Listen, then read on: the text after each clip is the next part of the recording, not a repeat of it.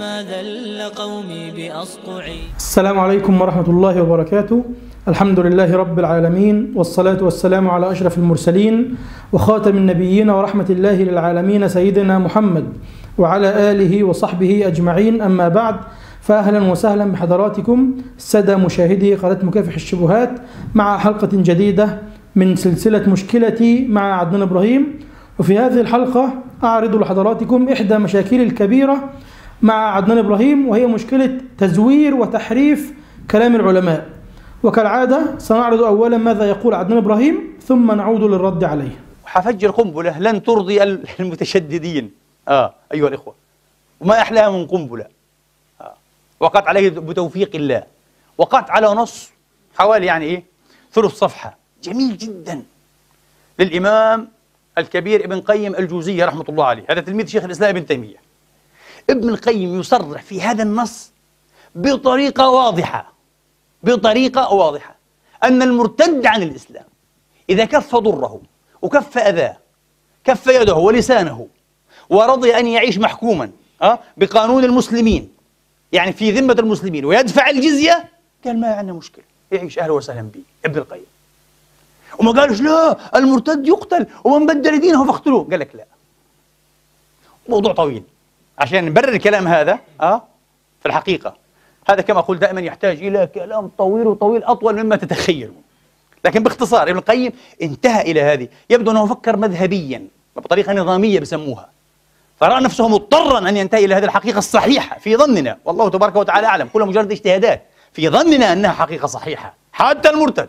طبعا بما أني من النوع المتشدد كما يحلو لعدنان إبراهيم ومن ينتهج منهجه أن يصفني أنا ومن يسير على هذا المنهج. توقعت أنني لن أكون راضيا عن كلام عدنان إبراهيم لكن بعد سماع هذه القنبلة من عدنان إبراهيم فوجئت أنني كنت راضيا جدا بعد سماع عدنان إبراهيم لأن هذا الكلام الذي قاله عدنان إبراهيم يؤكد نظريتي في عدنان إبراهيم في مسألة الغش والتزوير والتحريف. عموما سنعيد هذه القنبلة لعدنان إبراهيم مرة أخرى. يعني نقدر نسميها هجمة مرتدة. وسنعرف الآن هل الإمام ابن القيم رحمه الله قال هذا الكلام أم لم يقله. أمام حضراتكم كتاب أحكام أهل الذمة للإمام ابن القيم رحمه الله الجزء الثاني صفحة رقم 695 قال الإمام ابن القيم رحمه الله بل المرتد إن استمر على ردته قتل. بل المرتد إن استمر على ردته قتل. هل هناك أوضح من هذا الكلام؟ طب أين هذا الكلام من الكلام الذي قاله عدنان إبراهيم؟ بل وفي نفس هذا الكتاب يقول الإمام ابن القيم رحمه الله أن الصبي إن استمر على ردته حتى يبلغ يقتل والكتاب أمام حضراتكم على الشاشة قال ابن القيم وعلى هذا فيمكن أن يكون الغلام مكلفا بالإيمان قبل البلوغ ولو لم يكن مكلفا بشرائعه فكفر الصبي المميز معتبر عند أكثر العلماء فإذا ارتد عندهم صار مرتدا له أحكام المرتدين وإن كان لا يقتل حتى يبلغ فيثبت عليه كفره. وهذا يعني أن الرجل البالغ إذا ارتد عن الإسلام يقتل. هذا نص كلام الإمام ابن القيم رحمه الله.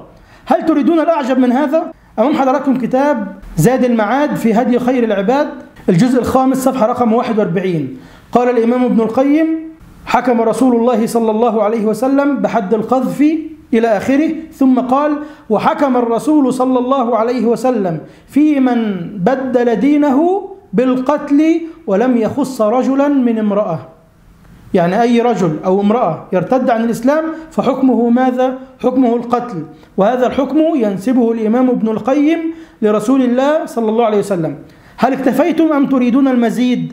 أمام حضراتكم كتاب إغاثة اللهفان من مصائد الشيطان أيضا لابن القيم. الجزء الأول صفحة رقم 641 قال ابن القيم وإذا علم الحاكم أنها ارتدت لذلك يتكلم عن المرأة لم يفرق بينهما بينها وبين الرجل وتكون مرتدة من حيث العقوبة والقتل. المرأة إذا ارتدت تكون مساوية للرجل ولا يفرق الحاكم بينهما من حيث العقوبة والقتل. يبقى المرتد والمرأة حتى المرتدة. إن ارتد عن الإسلام يقتلان أم لا يقتلان؟ كلام ابن القيم واضح رحمه الله. طيب نحن إلى هنا لا نحتاج إلى نقول أخرى من كلام ابن القيم. لأننا الآن أثبتنا أن ابن القيم رحمه الله يقول في هذه المسألة بقتل المرتد وهذا يعني أن عدنان إبراهيم كان يزور كلامه طب يا عدنان الآن لو فرضنا أن واحد من أحبابك أو من تلاميذك أو من محبيك ومستمعيك الآن سمع هذا المقطع الذي قلت فيه هذا الكلام وعاد إلى كلام ابن القيم ووجد أن ابن القيم يقول عكس ما تقول هل سيظل مصدقا لك؟ هل سيظل يعتقد أنك إنسان صادق وأنك إنسان أمين وأنك تنقل كل شيء عن الأئمة بصدق وأمانة ومصداقية؟ انصح للناس النصيحة تسأل عنها يوم القيامة. احكي الحق الذي ينجيك أمام الله. هذا النصيحة. خلص. خلص إيه؟ الحق من الدغل. هذا معنى النصح. تخليص. أعطي الشيء صافيا صحيحا. لا تخدع الناس. أعطي الشيء صافيا صحيحا. لا تخدع الناس. أعطي الشيء صافيا صحيحا. لا تخدع الناس. طيب أين النص الذي استدل به عدنان إبراهيم؟ هذا النص موجود في كتاب إعلام الموقعين عن رب العالمين لابن القيم الجزء الثالث صفحة رقم 339 قال ابن القيم فأما القتل فجعله أي الشارع عقوبة أعظم الجنايات. كالجناية على الأنفس فكانت عقوبته من جنسه وكالجناية على الدين بالطعن فيه والارتداد عنه. وهذه الجناية أولى بالقتل وكف عدوان الجاني عليه من كل عقوبة إذ بقاؤه بين أظهر عباده مفسدة لهم ولا خير يرجى في بقائه ولا مصلحة. فإذا حبس شره وأمسك لسانه وكف أذاه والتزم الذل والصغار وجريان أحكام الله ورسوله عليه وأداء الجزية لم يكن في بقائه بين أظهر المسلمين ضرر عليهم والدنيا بلاغ ومتاع إلى حين. ثم تكلم ابن القيم رحمه الله عن حكم الزنا. في البداية أقول أن ليس في هذا النص الذي قاله ابن القيم وقرأناه الآن على مسامعكم أن ابن القيم رحمه الله يقول أنه يجوز للمرتد أن يبوح بردته وكفره. لا ابن القيم لم يقل هذا الكلام. لأن معنى هذا أننا نقره أننا نقر هذا المرتد على ردته أو معنى هذا أن ابن القيم يوافق على هذا الكلام. هذا الكلام غير صحيح. ابن القيم رحمه الله لم يقل هذا الكلام بل يصرح ابن القيم بعكس هذا الكلام ويقول أن هذا الشخص يحبس لسانه. طبعا طالما حبس لسانه فلن يعلم أحد بردته أصلا. تريدون الأدلة على صحة ما أقول؟ الإمام ابن القيم هنا كان يرد على الإمام ابن حزم رحمه الله ويبين له العلة في هذه الأحكام في العلة في التفرقة بين إقرار النصراني على نصرانيته في ديار المسلمين وعدم إقرار المرتد على ردته في ديار المسلمين. وسنحلل كلام الإمام ابن القيم رحمه الله بشكل دقيق. أولا هذا النص فيه تنصيص من الإمام ابن القيم رحمه الله على قتل المرتد. ابن القيم يقول أن الله سبحانه وتعالى جعل القتل عقوبة لجرائم ثلاثة. قال القتل والردة والزنا. فأما الأولى فيقول ابن القيم أن القتل عقوبة لجريمة القتل. إنسان قتل فيقتل بالقتل. وهي عقوبة من جنس ونوع الجريمة. من قتل يقتل. والثانية قال ابن القيم أن القتل عقوبة لمن يطعن في الدين. القتل عقوبة لمن يطعن في الدين أو يرتد عنه. يعني ابن القيم الآن جعل القتل عقوبة لمن يرتد عن الدين أو من يتجنى عن الدين من يتجنى على الدين ويطعن فيه. إذا الجناية على الدين سواء بالطعن فيه أو بالارتداد عنه هذه جريمة. عقوبتها ماذا عند ابن القيم؟ عقوبتها القتل. واعتبر ابن القيم أن الردة في حد ذاتها من جنس الجناية على الدين. فقال كالجناية على الدين بالطعن فيه أو الارتداد عنه. يعني الجناية على الدين بحسب نص كلام ابن القيم لها صفتان إما أن الشخص يطعن في الدين وإما أنه يرتد عنه. ده كلام ابن القيم ولا كلام من عندي؟ ده نص كلام ابن القيم رحمه الله. يعني مجرد الارتداد عن الدين ابن القيم يعتبره أنه جناية على الدين وموجب للقتل. قال ابن القيم أن الطعن في الدين أو الارتداد عنه أولى بالقتل من أي عقوبة أخرى لأن بقاء الطاعن في الدين بين المسلمين مفسدة ولا يوجد خير في بقائه بينهم. على حسب هذا الكلام ومما ذكرناه لابن القيم من قبل أن الذي يقر على الجزية هو النصراني. وليس المرتد لأن المرتد لا يقر على الجزية أصلا. والدليل على هذا الكلام أن الإمام ابن القيم في كتابه أحكام أهل الذمة الجزء الأول صفحة رقم 195 يقول أن المرتد لا يقر على ردته. نفتح الكتاب أمام حضراتكم على الشاشة ونقرأ كلام الإمام ابن القيم. قال الخامس أنه سبحانه وتعالى قد حكم ولا أحسن من حكمه أنه من تولى اليهود والنصارى فهو منهم. ومن يتولهم منكم فإنه منهم. فإذا كان أولياؤهم يعني أولياء اليهود والنصارى منهم بنص القرآن كان لهم حكمهم وهذا عام. خص منه من يتولاهم ودخل في دينهم بعد التزام الإسلام. طب لو شخص كان مسلم ثم دخل في دين هؤلاء وتولاهم هذا ما حكمه؟ قال ابن القيم فإنه لا يقر ولا تقبل منه الجزية. الكلام واضح؟ أنا أسأل عدنان إبراهيم وأتوجه له بهذا السؤال.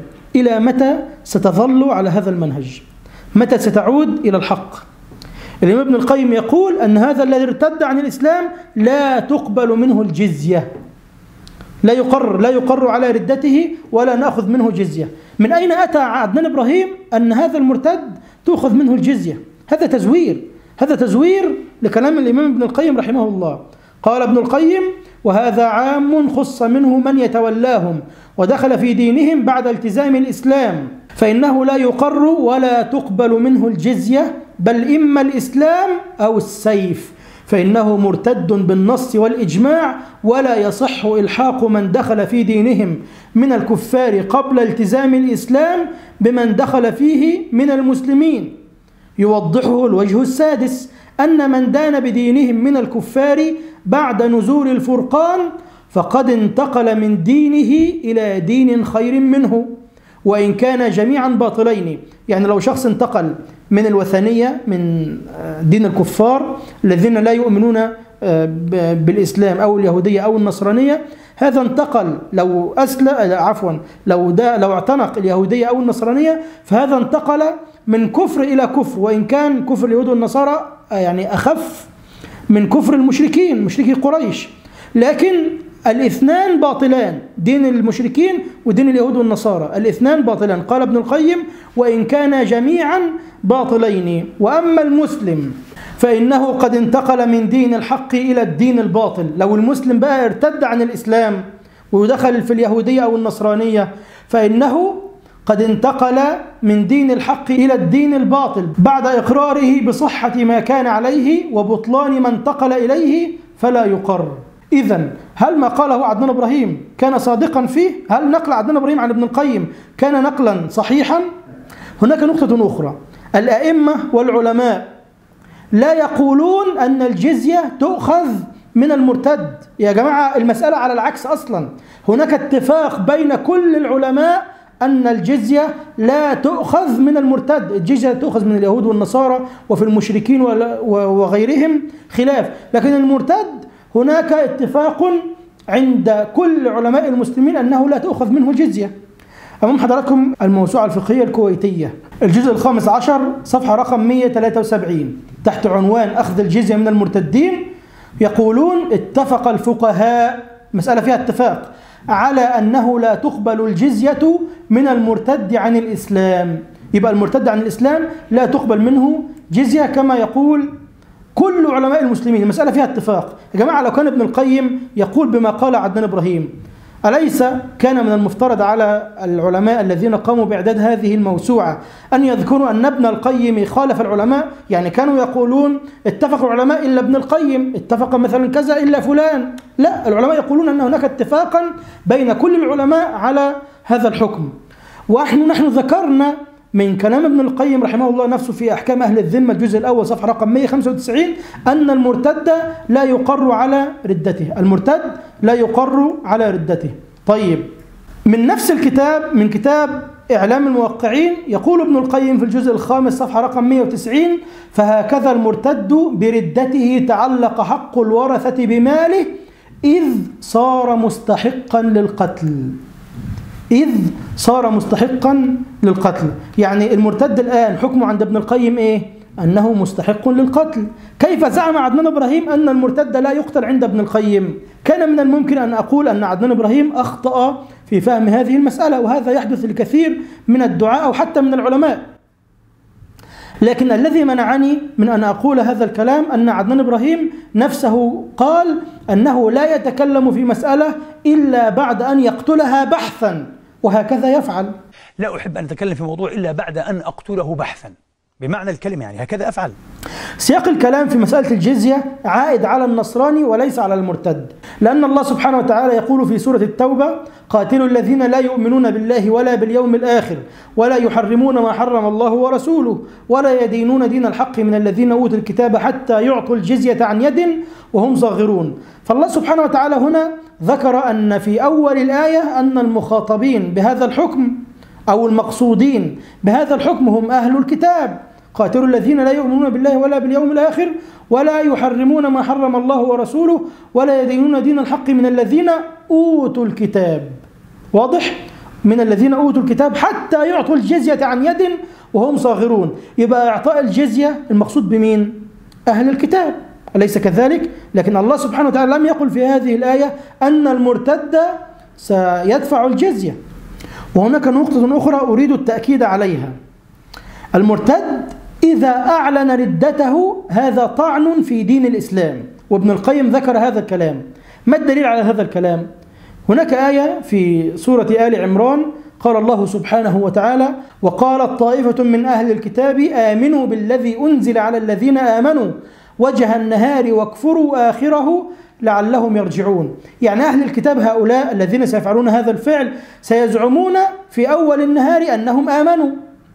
ثم إذا انقضى النهار يقولون نحن كفرنا بهذا الدين ما هي الفائدة؟ هو الإنسان لماذا يرتد عن دين من الأديان؟ يعني مثلا النصراني حينما يخرج من النصرانية ويقول أنه أسلم أو ألحد أو أي شيء من هذا القبيل هل يخرج من النصرانية لأنه مقتنع بها أم لأنه يعتبر أن هذا الدين دين محرف وليس من عند الله سبحانه وتعالى الأمر واضح وظاهر وبدهي أن الإنسان لما يخرج من دين هو يعتقد أن هذا الدين باطل بالكلية صح؟ يعني مجرد خروج المرتد من الدين هذا طعن في الدين. طب طعن في الدين بينه وبين نفسه هذا خلاص نحن لا نعلم عنه شيئا فبالتالي لن يترتب حكم على هذه المسألة. لكن لو أعلن عن هذه الردة لا. يؤاخذ ولي الأمر يعاقبه بعد الاستتابة إلى آخر هذه الضوابط. يبقى مجرد الخروج من الدين معناه الطعن يتضمن الطعن في دين الإسلام والنتيجة المترتبة على ذلك هي قولهم لعلهم يرجعون. يعني لعل هؤلاء المؤمنين إذا رأونا فعلنا ذلك يرجعهم أيضا عن الإسلام. يبقى مجرد إعلان المرتد عن ردته هذه دعوة منه لغيره أن يرتد عن هذا الدين. الأمر واضح والآية واضحة وكلام الإمام ابن القيم رحمه الله واضح في هذه المسألة. سنفترض أن كلام عدنان إبراهيم صحيح. يعني سنفترض أن ابن القيم قال هذا الكلام بالفعل. ابن القيم قال أن الجزية تؤخذ من المرتد أليس كذلك؟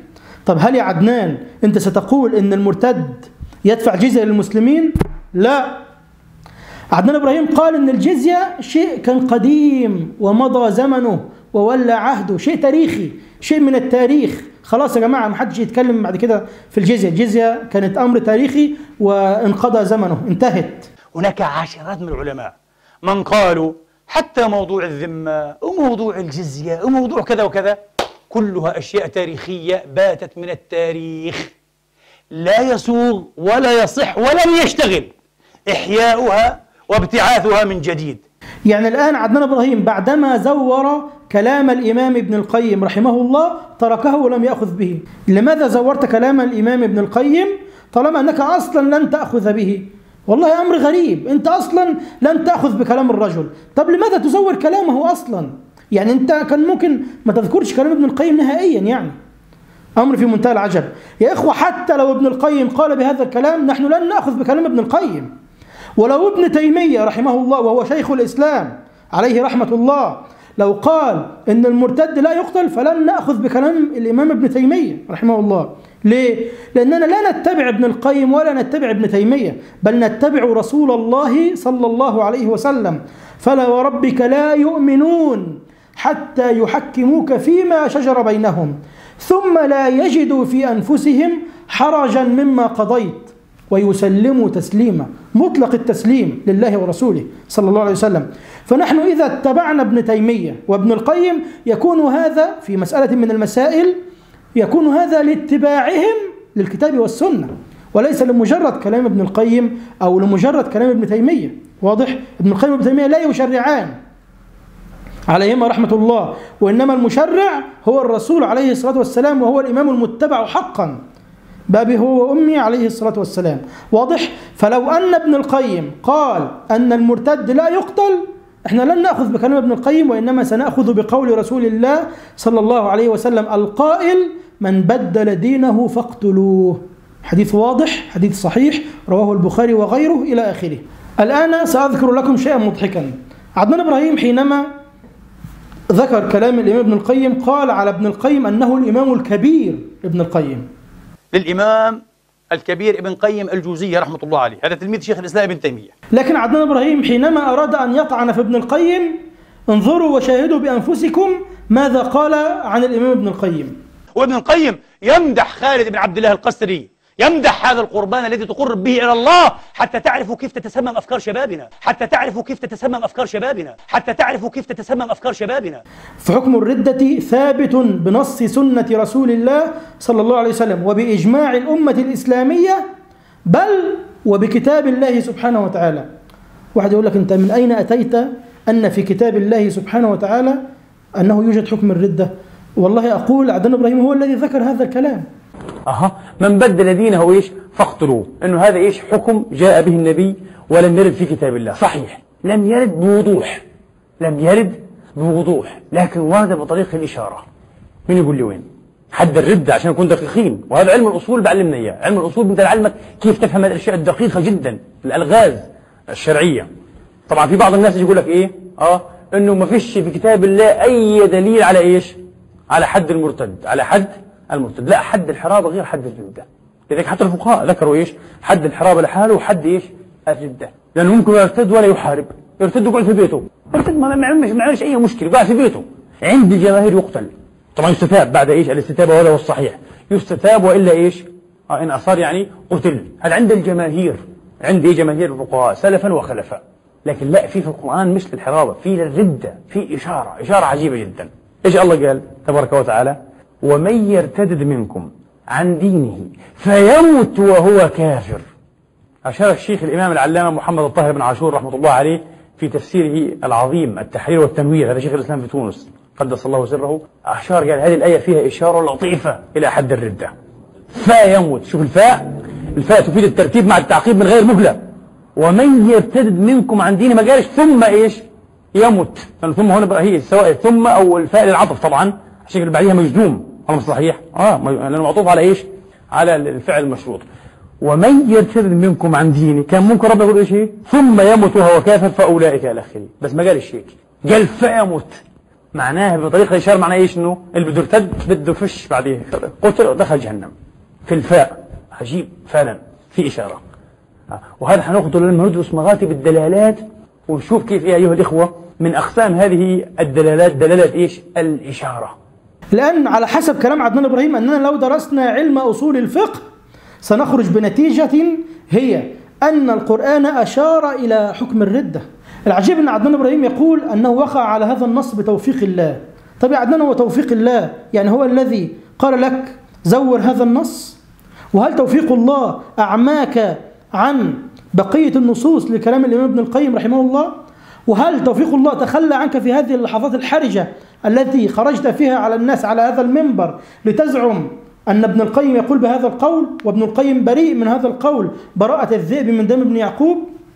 نتمنى من عدنان إبراهيم بصدق أن يتقي الله في نفسه ويتقي الله في كتاب الله سبحانه وتعالى ويتقي الله في سنة رسوله صلى الله عليه وسلم ويتقي الله في دين المسلمين ويتقي الله في كلام أهل العلم ولا يحرف كلامهم. وأرجو من محبي عدنان إبراهيم أن يأخذوا هذا الكلام ويذهبوا به إلى عدنان إبراهيم ويسمع منه لعل عنده جوابا لعل عنده مبررا يقوله يعني في سبب تزويره لكلام الإمام ابن القيم. هذا وبالله التوفيق والحمد لله الذي بنعمته تتم الصالحات. وصل اللهم وسلم وزد وبارك على حبيب قلوبنا محمد وعلى آله وصحبه أجمعين. والسلام عليكم ورحمة الله وبركاته.